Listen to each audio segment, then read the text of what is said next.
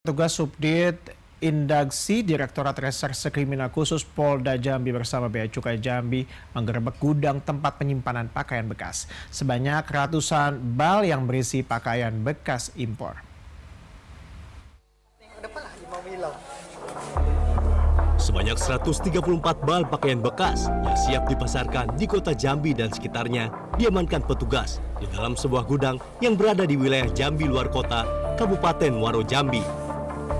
Di setiap bal pakaian bekas yang diamankan ini terdapat tulisan GP Trading Co. Made in Korea. Kasubdit Indaksi di Reskrim Sus Polda Jambi mengatakan penggerbekan ini dilakukan berkat informasi dari warga bahwa komplek ruko yang berada di PAL 11 batas kota Jambi dengan Kabupaten Muaro Jambi ini dijadikan tempat penyimpanan atau gudang pakaian bekas sebelum diedarkan ke para penjual pakaian bekas di Jambi dan sekitarnya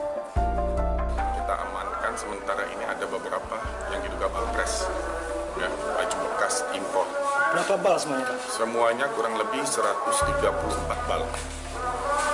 Ini dari mana source Pak barang-barangnya Pak? Untuk itu kami masih butuh penyelidikan dulu karena kami baru meminta keterangan dari tiga orang saksi yang kami mintain keterangan.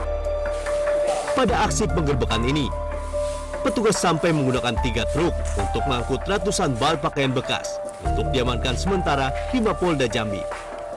Nantinya pihak polisian akan menindaklanjuti siapa pelaku pengimpor pakaian bekas yang berada di kota Jambi.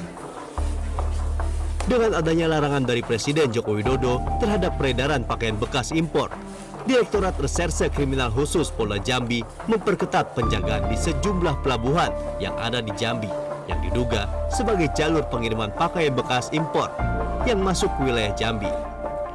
Muhammad Hussein, Kota Jambi.